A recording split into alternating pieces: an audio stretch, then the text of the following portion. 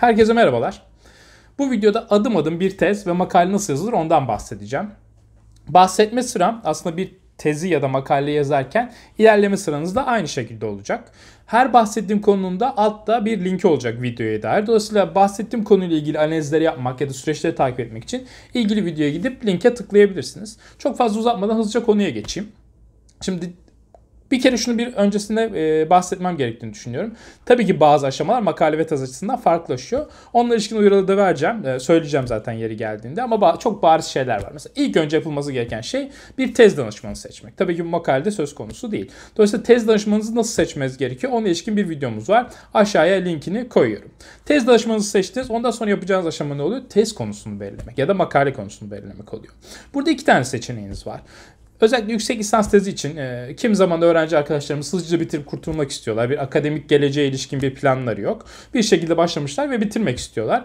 Onların seçimine ilişkin bir yüksek lisans test konusu nasıl seçilir diye bir videomuz var. Dediğim gibi hepsinin aşağıda linkleri olacak. Ya da iyi bir test konusu nasıl seçilir, iyi bir makale, iyi bir proje konusu nasıl seçilir şeklinde bir başka videomuz daha var. Dolayısıyla bu ikisinden hangisi artık sizin amaçlarınıza daha uygunsa onu seçip ilerleyebilirsiniz. Şimdi tabii test konusunun seçimi sırasında bununla bağlantılı bir konumuz daha var. Literatür taraması. Çünkü test konusu seçerken aslında belli oranda bir literatür taraması yapmanız gerekiyor. Bunun videosunu hazırladım. Yakın zamanda koyacağım. Ee, büyük ihtimalle video yayınlandıktan belli bir süre sonra aşağıda linki de olacak. Dolayısıyla bir literatür taraması nasıl yapılır? Literatür taramasından nasıl yararlanılır? Ve bunu hızlı bir şekilde nasıl tamamlayabilirsiniz ilişkin bir videoda olacak. Linke tıklayarak o videoya da gidebilirsiniz. Konumuzu seçtik. Konumuzu seçtikten sonra bir anket oluşturmamız gerekiyor. Hemen burada bir parantez açayım. Bu video daha çok nicel analiz analize, nicel analizle yapılacak, nicel yöntemle yapılacak bir makale ve teze ilişkin. Dolayısıyla niteliğe ilişkin maalesef e, çok izleyebileceğiniz bir aşama süreci yok. Belli oranda yararı olabilir ama belli açıdan da çok fazla farklılaşıyor. Dolayısıyla bu anket oluşturma kısmı aslında nitel çalışmalarda olmayan bir şey. Nicel çalışmalara yönelik bir şey. Dolayısıyla bir anket formu nasıl hazırlanır? Ölçek nasıl bulunur? Anket formu hazırlarken nelere dikkat etmenize gerekiyor ilişkin bir video yine aşağıda linklerde yer alacak. Bunu da kısa zaman içerisinde ekleyeceğim. Şu an bu video hazırlanırken yok ama çok uzun süreceğini zannetmiyorum bu videoyu eklememde. Anket formumuzu oluştururken dikkat etmemiz gereken unsurlardan bir diğeri cevap seçenek sayısı kaç olmalı? Dolayısıyla hani bu hani anketlerde bir ifademiz oluyor ve buna katılım seçenekleri oluyor. Bu bazen işlerinizi kolaylaştırabilecek hale gelebilir. Dolayısıyla bu sorunun cevabına ilişkin bir videonun linki aşağıda yer alıyor. Lütfen anket formumuzu hazırlarken buna da bir bakmanızı şiddetle öneririm. İşlerinizi kolaylaştırabilir belli oranda. Konumuz belirlendi. Anket formumuzu hazırladık. Şimdi sırada şu sorunun cevabı var. Ben bu anketi kaç kişi uygulamam yani kaç kişilik bir örnekleme uygulamam gerekiyor? Bununla ilişkin video yine aşağıda yer alıyor. Dolayısıyla o videoya bakarak kaç kişilik bir örnekleme ihtiyaç duyabileceğinizi e, görme şansınız olur. Örneklemden verimizi topladık. Şimdi sırada ne var? Artık bu verilerin SPSS ya da ilgili programları giriş aşaması var. Genelde SPSS'ten yola giderek bütün diğer programlarda da kullanılabilen bir veri dosyası hali, ayarlayabiliyorsunuz. O yüzden SPSS nasıl veri girişi yapılır ilişkin videoyu izlerseniz bu sürecin nasıl yapılacağını e, öğrenme şansınız olur. Burada iki tane konuyla ilişkili bağlantılı şey var. Bir tanesi şu ters kodlu soruların veri girişi. O birazcık daha farklı oluyor. O videonun linki de aşağıda. Ve bir diğer önemli unsur ise çok seçenekli soruların veri girişi. Bu iki video da aşağıda linklerde alıyor. Dolayısıyla bir veri girişi yaparken öncelikle bir SPSS veri girişi nasıl yapılır? Bunun videosunu izlemeniz gerekiyor. Ardından ters kodlu soruların videosunu yani ters kodlu sorunuz varsa tabii ki videosunu izlemeniz gerekiyor. Ve ardından da size önerebileceğim şey e, cevap seçeneği birden fazla yani çoklu cevap seçeneği girilebilen soruların verisi nasıl girilir? Bu üç videoyu izlerseniz aslında SPSS programına nasıl veri girişi yapacağınızı e, kafanızda oturtmuş olacağınıza inanıyorum. Buradan sonra ne geliyor? İki tane aşama var aslında yapmanız gereken analizlere geçmeden önce. Birincisi dikkatsiz katılımcıların belirlenmesi. Yani anket formumuzu düzgün okumadan cevaplayan kişilerin belirlenmesi. Buna ilişkin videonun, videonun linkini aşağıda bulabilirsiniz. Bir diğeri ise kayıp verilerin artık nasıl elden geçirileceğine ilişkin bir konu. Yani biliyorsunuz kimi cevaplayıcılar, katılımcılar kim sorulara cevap vermemiş oluyorlar. Ee, bu verilmemiş cevapların nasıl doldurulacağı ya da boş mu bırakılacağına ilişkin bir karar vermeniz gerekiyor. Buna ilişkin videoyu da yine aşağıda bahsetme konulardan sırasıyla dolayısıyla bahsetme şeklindeki e, sırayla e, koymuş olacağım. E, bulabilirsiniz. Verilerimizi girdik. İki unsurumuza dikkat ettik. Şimdi sırada yine bütün neredeyse artık tezlerde ve makalelerde yer alması gereken şeyler var. Güvenlik ve geçerlilik analizleri. Güvenlik analizi genel itibariyle Chrome Alpha burada yeterli bulunuyor. Birçok makale içinde, iyi, iyi düzeydeki makale içinde Chrome Alpha'yı yeterli görüyorlar. E, dolayısıyla bir Chrome Alpha yani güvenlik analizi yapmanız gerekiyor.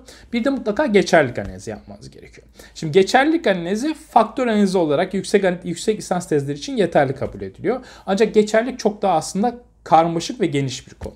Şimdi buna ilişkin videolar gelecek. Bir geçerlilik nedir? Güvenilirlik nedir ilişkin bir videomuz olacak. Aşağıya linklerini ekleyeceğim mutlaka. İki, ayrışma geçerliliği ve bütünleşme geçerliliği dediğimiz geçerlilik biçimleri nasıl test edeceğine ilişkin videolarımız olacak. Dediğim gibi bir yüksek lisans tezi için faktör enzili yapacağınız yapısal geçerliğe ilişkin olan geçerlilik biçimi yeterli oluyor geçmeniz için o yüksek lisans tezinden. Ama bir doktora tezi ve iyi bir makale istiyorsanız bu ayrışma ve bütünleşme geçerliliklerine ilişkin geçerlilik analizlerini de yapmanız gerekiyor. Onunla ilişkin videolarımız da karşınıza çıkacak. Dediğim gibi şu ana kadar bahsettiğim şeyler hep bir sırayla izlemeniz gerekiyor. Yani hipotezlerinize geçmeden önce biraz sonra hipotez analizlerinden bahsedeceğim. Mutlaka bu güvenilirliği ve geçerliliği yapmış olmanız gerekiyor. Ondan önce kayıp verileri atamış olmanız gerekiyor ve dikkatsiz kullanıcıları elemiş olmanız gerekiyor. Videoda anlattığım şekilde sırayla izlerseniz hem işleriniz kolaylaşır hem de doğru yolu bu. Güvenlik ve geçerlik analizlerinizi yaptınız. Şimdi hipotez testlerine geçmeden önce araya e, koyabileceğiz iki analizimiz daha var. İşinize yarayacağını düşündüğüm. Bunlardan bir tanesi e, bu outliers'ları silme dediğimiz bu uç değerler oluyor. Eğer bu geçerlik ve güvenlik analizlerinizde sorun yaşıyorsanız yani geçerli ve güvenilir çıkmıyorsa belki de sorun outliers dediğimiz kullanıcı outliers dediğimiz katılımcılardan meydana geliyor olabilir. Dolayısıyla bunları elemenin bir yolu var. Bunları eleyerek de e, geçerli ve güvenilirlik analizlerinizi tekrar yapmanızı tavsiye ediyorum. Sonuçlar eğer daha iyiye gittiyse bunları makalenize değer verebilirsiniz. Outliers'ları eledik diyebilirsiniz. Buna ilişkin videoda aşağıda yer almakta. Outliers dışında bir de ölçeklerin ortalamasını almak dediğimiz bir durum var.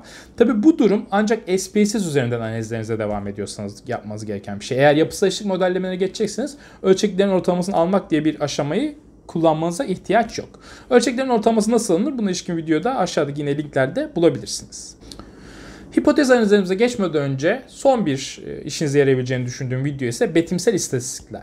Yani ortalama, standart sapma, işte e, çarpıklık, basıklık gibi değerleri tezlerinize yerleştirmeniz gerekiyor, koymanız gerekiyor. Aynı şekilde makalelerde de buna ilişkin bilgiler vermeniz genelde istenir.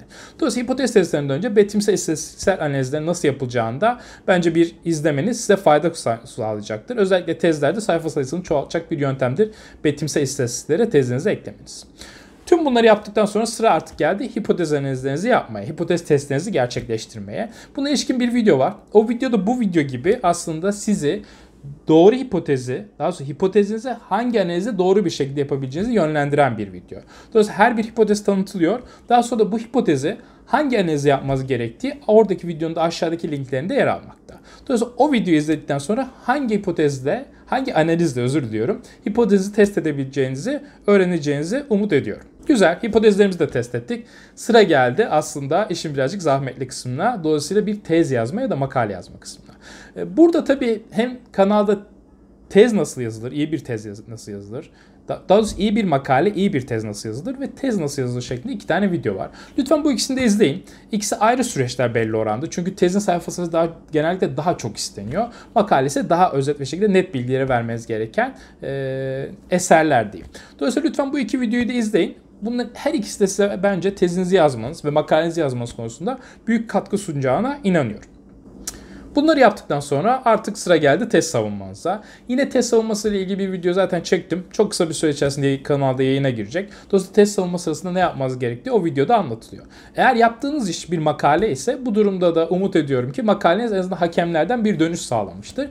Bu durumda da hakemlerden gelen dönüşe nasıl düzeltmelerle cevap verilir, nasıl düzeltme yapılması gerekiyor bununla ilişkin bir videomuz var kanalda. Onu izlerseniz umut ediyorum ki size bir faydası olacaktır.